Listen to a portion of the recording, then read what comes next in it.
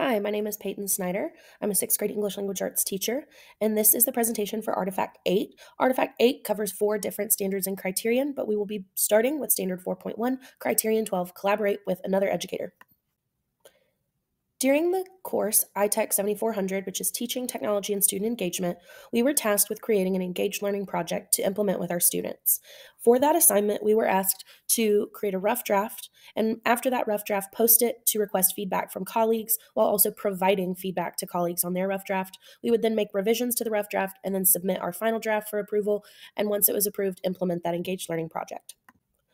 I developed my engaged learning project with another teacher so that we could include interdisciplinary standards within math, English language arts, social studies, and our family and consumer science classes.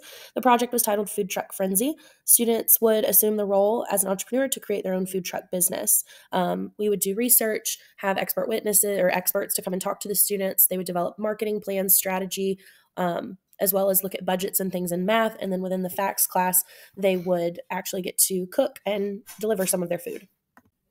As mentioned previously, during the ITEC 7400 course, we were asked to post our Engaged Learning Project rough draft to a discussion board where other people in our class were asked to give us feedback on the assignment. So Andrea was so kind as to give wonderful feedback for us. Um, I was specifically asking for feedback on ideas to make the assignment more collaborative because we were struggling figuring out how to do that since our students don't follow each other to every class. Um, we're in a block schedule, so students don't necessarily have all of the same classes all day long, um, which we thought would cause an issue. But Andrea suggested instead of groups, making it partners, which kind of helped open us up a little bit. Um, she also suggested that we make most of the work in the English language arts class, which is where they would have their partner. So the majority of the work that they would complete would happen during the ELA class, and the lessons for the other disciplines would happen within those classes. They would bring that work and that knowledge that they gained into ELA, um, which would be my classroom, to implement it within their project. I additionally provided feedback to two of my classmates during this time. The first was for Quandra. She had an awesome um, an awesome engaged learning project that focused a lot on um, the civil rights movement within her social studies class. She wasn't really sure what she wanted feedback from, so I gave her some generic things. And being an ELA teacher, the thing that I suggested was finding novels or paired texts to go along with the social studies based lesson that she created and developed. Um, because I think bringing in multiple disciplines and standards would benefit the students, especially for this type of project, because there's a lot of great literature out there. I also provided feedback to Andrea. She was specifically asking for help incorporating technology into the project. Um, she had a wonderful project as well. So, my suggestions for incorporating technology was using Flip um, as a way to record and present their podcasts. Um, because you would be able to uh, have an assigned playlist and they'd be easy for students to go and listen to and watch. Artifact 8 also includes Standard 4.3 and Criterion 14, which is facilitating virtual learning activities featuring expert guests to advance learning objectives. My engaged learning project was called Food Truck Frenzy. It is multidisciplinary between math, ELA, social studies, and the connections class, family and consumer science.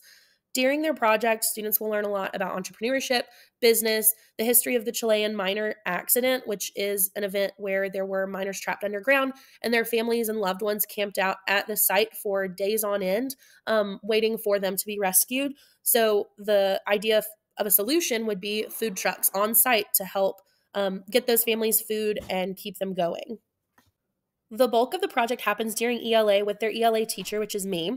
The students will be engaged in class discussion throughout the unit, and they will work collaboratively in partner pairs to study the mining accident and write an objective summary on their findings with text evidence. After that, um, the students will work collaboratively to figure out solutions for hunger relief, which is when we land on the food truck idea. Um, and after we decide on that, we are going to connect with experts in the community to kind of teach our students and educate them on entrepreneurship and specifically food truck and food truck culture, all what all of that looks like to help them develop their business plan and their project. For this project, we had two different experts uh, speak with our students. The first was Ms. Wojon, who is a business owner in our community. Um, she owns one or two different small businesses that she came and spoke to our students about in person in the Media Center, um, which was fantastic. We also conferenced virtually via Teams with the owners of the Smash Burger food truck called Smash Hit.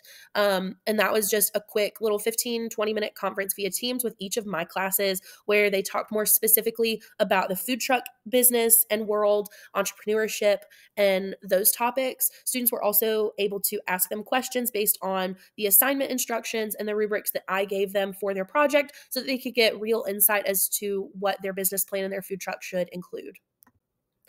Artifact 8 also covers Standard 4.4 and Criterion 15, demonstrate effective communication with all student supporters.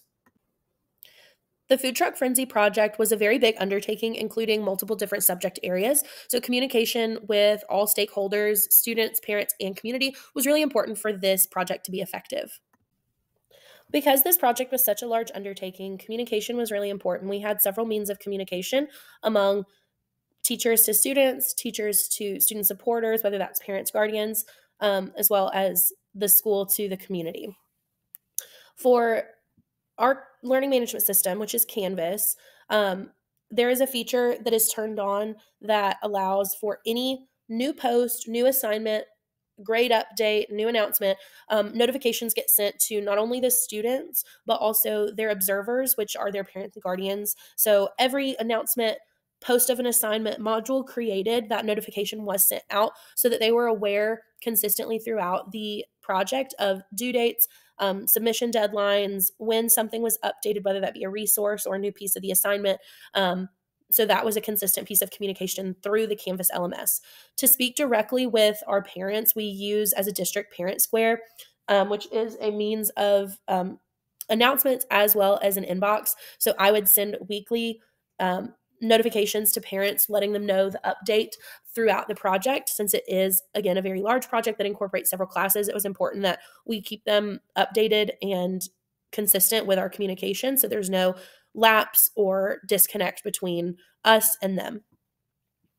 Additionally, there is Canvas Inbox where we can communicate also directly with the students as well as their observers um, whether that's a missing assignment, a grade update, just saying, hey, can, can you send this to me again? Um, whatever the case, that's also a direct means of communication that we utilized. Um, within Canvas, we also posted announcements regularly, updating our students on what was going on in class that day.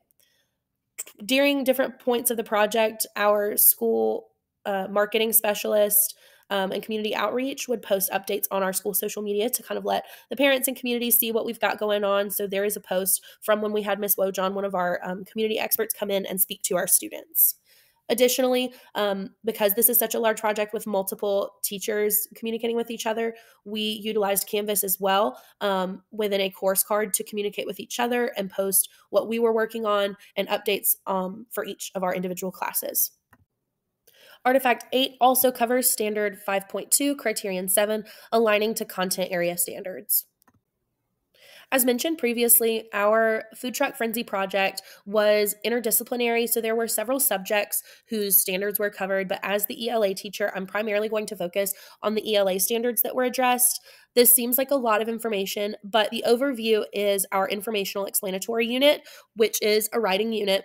Um, students needed to cite textual evidence to support their analysis. They needed to integrate information from different media or formats. So um, we looked at we used safe engine search we looked we used um, galileo things like that for students to gather research. We watched videos in class um, integrating that different media. We also engaged effectively in collaborative discussions throughout the the project interpreting informations in diverse media and formats um, and explain how it contributes to a text. That's something that we focused on and then presenting their claims and findings. At the end of this project they were asked to develop a business plan proposal via some sort of presentation tool. So that hits that standard as well.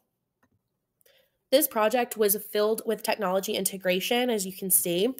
We used Microsoft Teams to collaborate with the experts um, in business, uh, specifically the food truck entrepreneurs for Smash Burgers. Our Canvas LMS, we focused really hard on blended learning within our district. So everything that we did was accessible via Canvas, so students could work from home and remotely on this project at any point in time. Students wrote their essays, their objective summaries, all of those things on Microsoft Word because we are a Microsoft school district. we utilized since this was a interdisciplinary unit we used the um, defined learning project-based learning software program online to help deliver the overall project guidelines. So it was one place for students to go no matter which class they were in to access the information needed for the project for the presentation at the end of the unit or the end of the project, we gave a range of options for presentation tools that students could use because we wanted to make sure that the students felt comfortable with whatever medium they felt like using since it was a presentation. So we gave the options of Canva, PowerPoint, a flip video, or PowerPoint or excuse me, Microsoft Sway because those are all things that students are familiar with. And it gave a range of options for submission of that final project. We also utilized the Safe Search engine called Safe Search Kids for students to research um, and help plan for their business proposals, uh, researching the history of the Chilean miners and Chilean culture and food, because that was what the project revolved around. Um, and it, it's just a much safer way for students to gather credible, reliable information that is age appropriate. Thank you so much for listening.